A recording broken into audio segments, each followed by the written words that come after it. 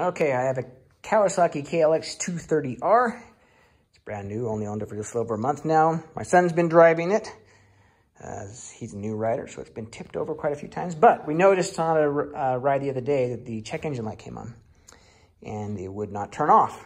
Check engine light's over here. Yeah, that just turns, when you turn the bike on, it turns yellow and stays yellow. It doesn't turn off. It doesn't give you any kind of code indication.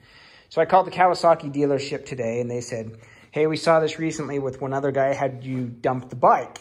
I'm like, yeah, my son's dumped the bike a number of times. Uh, this last time he took it out, though, I think he only tipped it over once and it wasn't for very long or anything serious. But anyway, he said, yeah, we had another guy with a bike in the other day. Same type of thing. He was going up a hill. He tipped the bike over. The check engine light came on. He brought it in. They checked the codes. They got Kawasaki involved. Uh, and it has something to do with the sensor in it. And they think that because the bike was tipped over with the fuel and the fuel injection, that it tripped some kind of a sensor in it. And they basically just had to reset it. So he wanted me to get the code off the bike to see if the same things happened here. Well, you can't really get a code off the bike. The, the check engine light just turns a solid yellow. So what he had me do, he said, hey, take off the left, the left side plastic panel there. And there's this little electrical, there's a junction right here.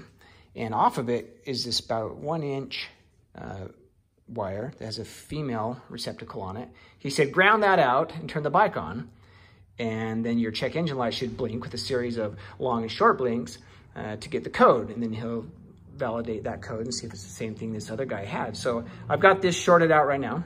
Um, I've got a connection from there down to just, so it's grounded out. I shouldn't say shorted out, it's just grounded out.